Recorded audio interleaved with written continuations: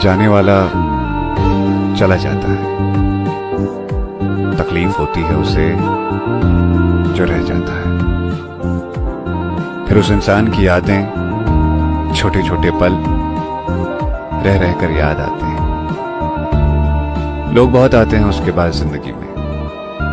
पर किसी की खाली जगह